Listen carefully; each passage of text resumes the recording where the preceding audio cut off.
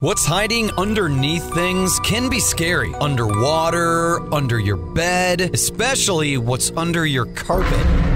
Except when you get new carpet from Carpet One Floor and Home. After tearing up your old carpet, they'll vacuum and apply Healthinex antimicrobial to your subfloor, disinfecting and killing mold, mildew, and any remaining general awfulness. Carpet One Floor and Home goes the extra mile to protect you, your family, and your home. Carpet One Floor and Home in Columbia, making your home beautiful, guaranteed.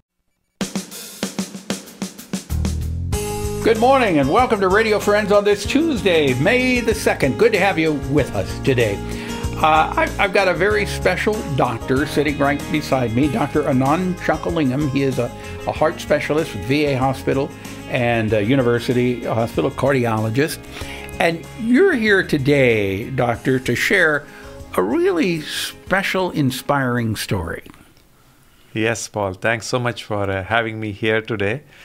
As a cardiologist, it's a very proud moment for me. I've been working on heart failure for the last 17 to 20 years, trying to see lifestyle, exercise, diet, and mindfulness, how we can improve uh, readmission rate and to keep people out of hospital, give them a little better quality of life, and things like that. But now I think in the last four to five years, our program has gotten more streamlined and is able to address specific challenges. And uh, what we find is we have actually cured heart failure. You've actually cured heart failure. Now explain what is heart failure?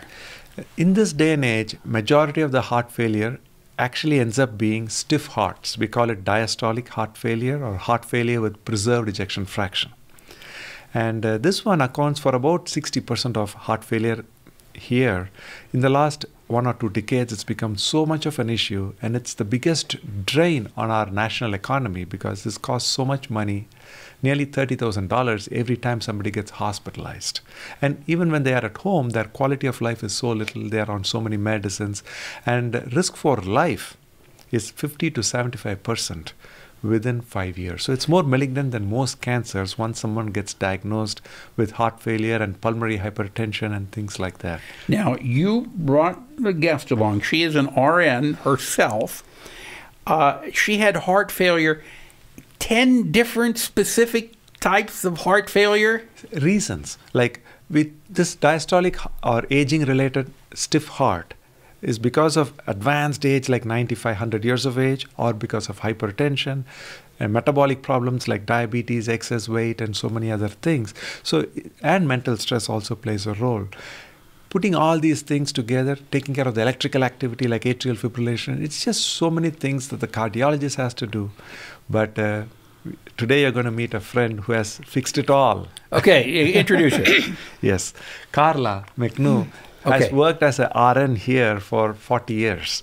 And she's the head of our Women and Children's Nursing Division. Yeah. And when I met her last year, she had heart failure, leg edema, pulmonary hypertension, and walking three to four minutes, she would get out of breath. She couldn't do eh, things that she needed to do as a nurse at the age of 64. And she's here to tell us her actual story.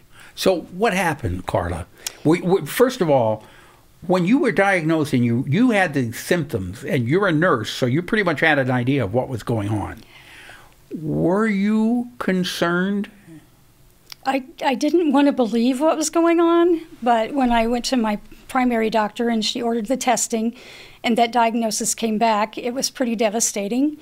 Um, I was full of fear. I could see the things that I still wanted to do in my life kind of slipping away. you were and, afraid you could die. Yeah, yeah. And then I was met with Dr. Chockalingam, a cardiologist, because my primary care was just a family practice doctor. And um, I was, when I left that meeting with him, he recommended intermittent fasting and healthful living.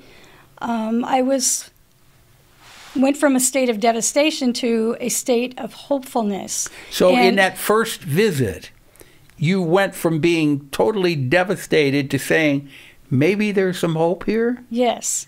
And I left there with the power that I could change the outcome based on what he told me and what he instructed me to do. How did you change the outcome of what could have been a death sentence? Well, I read his book and I listened to what he said. And in the first two or three weeks, I had, it took me a little bit to wrap my head around it all and to think, how am I going to manage this? And I figured out a plan so that I could start with intermittent fasting. I started watching portion sizes, started eating more anti inflammatory types of foods instead of what I was used to eating, which is all inflammatory foods, um, and started exercising slowly. Um, and so now I exercise six to seven times a week, and I'm still doing the intermittent fasting. I fast for 16 hours a day and eat during an eight hour period. Twice a month, I do a 24 hour fast, and it worked great for me, and I feel wonderful. Now we have a before picture. Uh, If you're listening on the radio, obviously we'll paint a picture. But you, we have a before picture of you, and then what you are now. You've lost how how much weight? I lost 70 pounds over about nine months. Now that's a and there's that there's that picture of you. Uh, how long ago was that picture taken? That was in 2019, Okay, but you've lost 70 pounds in how many? over a nine month period. And now, so what is your diagnosis of heart failure? Is everything back to normal? He, he tells me I'm cured. I'm, I'm uh, within nine months of being first diagnosed at the end of 2021. So by 2022 mid, she had stopped all her medicines for heart failure, the diuretics that are needed to keep the fluid under control. The pressure in the lungs started getting better. Her exercise time doubled, and now it is in the normal range. And I waited for six months, eight months. She's only getting younger every time I see her. I thought it's time I bring her and share her story with you now. So what you're saying then is she is cured Yes. of the heart Yes. failure. So the mortality risk of 75% within three to five years is now down to zero from heart failure. Was this done without medication? She takes she took heart failure medicines when she needed it.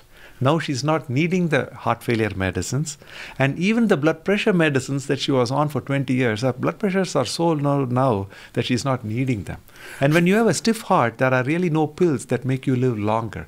So that if the heart was weak, like some other heart failure patients from heart attack or alcoholic cardiomyopathy, there are some medicines that lengthen life. For her, she doesn't need anything if her blood pressure is low and she's feeling great. And you can ask her how young she feels now. How long do you feel? I feel great. I've I, I feel like I have the mindset of like in my 20s.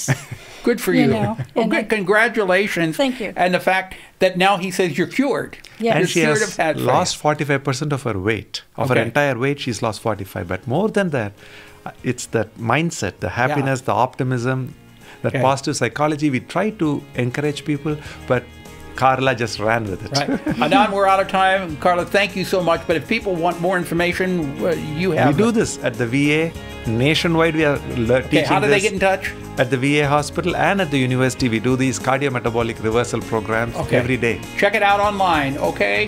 Thank you so much for coming by. It's our pleasure Thank you. and continued success.